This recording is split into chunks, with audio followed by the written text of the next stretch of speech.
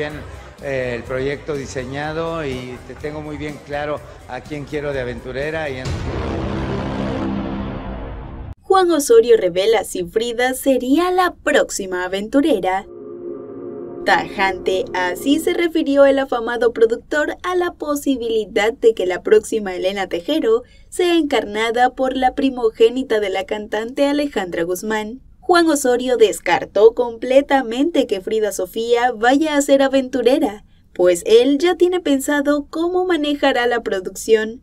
En paralelo, mencionó que ya recuperaron los derechos de la puesta en escena por lo que proyectan su estreno para febrero de 2020 y con muchas sorpresas. No, tengo muy bien eh, el proyecto diseñado y te tengo muy bien claro a quién quiero de aventurera y en su momento lo daré a saber. Este, sí, efectivamente acabamos de adquirir ya los derechos, ya, son de nosotros nuevamente y, y estamos proyectándolo para febrero, estrenar la obra con una gran sorpresa. No puedo abrir más, pero quiero decirles que que, hay una gran sorpresa para quién va a ser aventurera y esta transformación que hacemos de la, de la aventurera. Adicionalmente, indicó que en su gusto personal sería Livia Brito quien pudiera hacer el rol.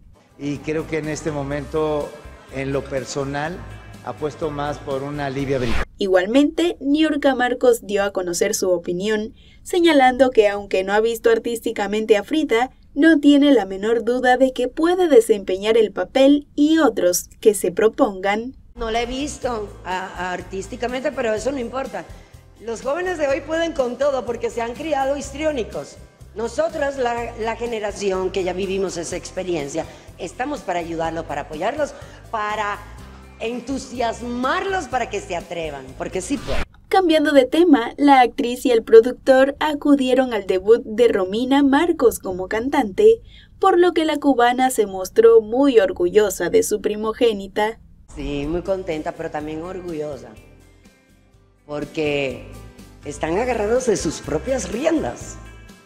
O sea, no dejan que uno le ponga los estribos, que le acomode la silla del caballo, nada con sus propias riendas y eso me da mucho orgullo. Me da orgullo porque si se tropieza se levantan como su madre, se sacuden, se soban y pa'lante sigue abriendo brecha. Por último, Osorio manifestó que gracias a su trabajo ha podido sobrellevar el duro momento que vivió el pasado mes de julio, cuando sujetos ingresaron a su casa, robándolo y dejándolo casi sin conciencia. Sí, la mejor terapia es el trabajo, Blanco. Y tengo mucha tranquilidad y, y, te puedo decir que le estamos dando seguimiento al caso, pero hoy en día eh, trabajo, es mi tranquilidad. Siento que yo no le echo nadie a nadie, no tengo que andar temiendo nada. Y me venme aquí, no traigo ni guaruras, no, no, no, no. ¿Ya estás suscrito al canal? Activa la campanita para que te lleguen primero que a nadie nuestros nuevos videos.